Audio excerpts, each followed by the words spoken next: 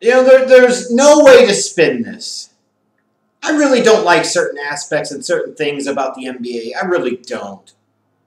I hate how some of these guys will just jump to other teams in pursuit of a championship. Like you look at the Montrezl Harrell uh, jumping from the Clippers to the Lakers. Like, why would you do that?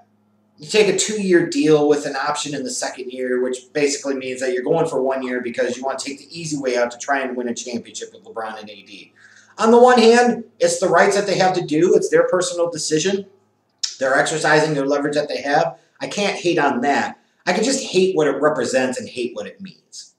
You know, like nobody nobody has any toughness anymore. Everybody's willing to jump and bail and make LeBron's job easier. It kind of makes you want to fond a little bit. But uh, with that said, part of the point of bringing that up is is you feel like you'll have a couple select teams every year in the NBA that really matter, and then everybody else basically doesn't.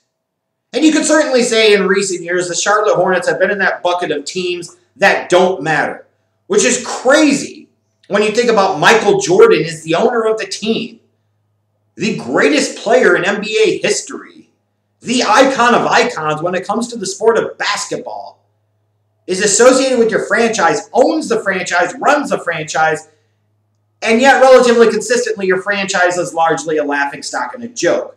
They're not 80 90s Clippers level bad or joke, but they're a pretty big joke nonetheless. And what that means is for teams like that, you've really got to hit on the draft and you really got to hit on the personnel decisions that you make. You sometimes may have to overpay for guys to come in via free agency. You're going to have to acquire guys via trade market. Like, you got to be crafty, creative. Doesn't mean that you can't make big things happen. Like, for years, the Warriors were largely a nothing. And, you know, they're playing in the Bay Area, San Francisco, Oakland. That's not Los Angeles. That's not Chicago. That's not New York. That's not even like a Houston or a Dallas or somewhere like that. Like, it's a secondary market.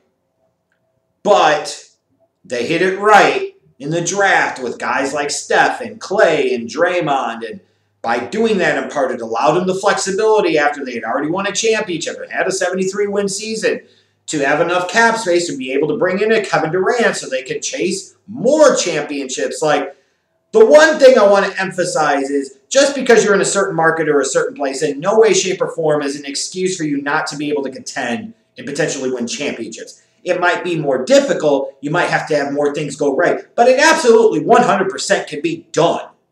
And the Warriors have proven that. The Raptors just won the championship last year. They're in freaking Canada, for God's sakes. I know Toronto's a great city and all, but it's still Toronto.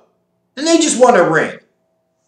So I think market size and this and that, especially when you have somebody like Michael Jordan as your owner, well, that's not really a good thing because while he was a Michael Jordan to Michael Jordan when it comes to basketball players, it's absolutely fair to say that he's the, the, the Michael Jordan of bad owners. He's just bad. He's just bad. And it's like every time you think the Hornets may be able to potentially turn a corner, like, hey, you're in a position to get LaMelo Ball to draft, drop to you third overall in the draft. Now, there is certainly huge risk with him, and he has huge bust potential, but he also has huge boom potential. He has franchise altering, franchise changing, megastar box office potential for that organization. And to be able to get him to fall to you third overall, you're sitting there if you're a Hornets fan and say, God damn, you know what? It's okay that we didn't give Kemba Walker the Supermax and keep him. It's okay that we sent him off to Boston. It's okay we got Terry Rozier in return because we got LaMelo. And everything's going to be mellow yellow from here on out. Until you get to the realization that Michael Jordan is still the owner of your team. And the only yellow sensation you're getting is the yellow that seems to constantly be streaming down your back so you're getting pissed all over by one of the worst decision makers in basketball. I help you understand this. You're more than one player away. You're more than two players away. You've been in a space the past couple of years where you've been underneath a really bad Nicolas Batum contract, just like a pretty bad Terry Rozier contract. Who the hell else am I forgetting? Just like, is it Cody Zeller? That's a bad contract, if I'm not mistaken. And I'm probably leaving somebody else out too. Like there are multiple just bad contracts in the NBA, and I realize that's part of the deal of life in the NBA is that you're going to have some bad contracts on your team. But my God, you've been overpaying several guys by significant margins for very little return coming back to you. And as I, you're on the precipice of one more year, you can finally 100% be clear of that really bad Nicolas Batum contract where he signed it and he basically disappeared. It's like he doesn't freaking exist, even though you're paying him 20 plus million. In this case, I believe this upcoming season, he'd be on the books for 27 million. You're sitting there thinking, hey, you can either trade him to somebody that wants an expiring contract and maybe get some type of pick and return, or do something to create some long-term flexibility for this organization. Hornets fans, whoever there is that actually exists that claims to be a Hornets fan, probably an Republican, I don't know why, just as you're on the precipice of the dawn of a new era, the LaMelo Ball era, the we're not going to give stupid contracts to guys that disappear like Nicolas Batum. Lo and behold, don't you know, apparently Michael Jordan watched the playoffs this year, took one look at the Celtics and said, you know what? I want to pay the white guy 30 million plus a year. Because somehow you watched Gordon Hayward in Boston the past couple of seasons, and you said to yourself, you wanted a piece of this action? Like, think about how crazy it is. Just a few weeks ago, most all of us were assuming that Gordon Hayward was most likely going to opt into the last year of his deal because who the hell else would want to sit there and pay him even close to that much money for any length of time of years? He's going to ride out that last year in Boston, close to 30 million, try to pump up his stock and potentially get one last big contract in the open market in another year. But instead, Gordon Hayward was able to ride two underwhelming seasons in Boston, coming back from the injury, mind you, but the last two underwhelming seasons in Boston, missing notable stretches of games due to injury, just underperforming, poor fit, and everything else in a pandemic state where COVID has wreaked significant impacts on the league, potentially could create significant salary cap constraints, and was able somehow to extort the freaking Charlotte Hornets out of 120 plus million guaranteed dollars. And it's not just like it's two years with a couple of options. You're talking about 100% tried and true Carolina Blue guaranteed damn money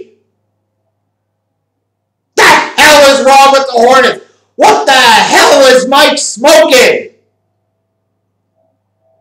It's almost like he sat there and said, hey, people are starting to praise me and the things I'm doing with this organization. And I took that personally. So let me go ahead and ridiculously overpay for God blessed Gordon freaking Hayward. Like I realize when you were in Charlotte, you might have to overpay for some guys. I realize that you're not going to be a marquee free agent destination. I also understand that you want to have some help potentially around your young point guard franchise guy in LaMelo Ball. I get all of that. But I'm sorry. Gordon Hayward ain't it. Like I saw Christian Wood, I think, got 41 over 3 from the Houston Rockets. I'd much rather give Christian Wood 41 over 3 and bring in another guy at a similar level of money and feel like I got a lot more bang for my buck, a lot more money's worth than the hell that I would have gotten out of having Gordon Hayward under contract until he turns damn what, 35? What's the vision here? You're almost done with the Batum contract, and instead what happens? You bring in Gordon Hayward and clearly, apparently, didn't have anything that lined up for Batum because the last reports I saw is that you're going to have to waive Batum and take that $27 million and you're going to have to disperse it over several years. So not only, not only are you not out of the woods when it comes to bad contracts, You've added an even worse one for even a longer period of time, and now you're taking the stake of the Nicolas Batum contract and spreading it not just for this year, but over several years to come. Like, who the hell thinks this is a good idea?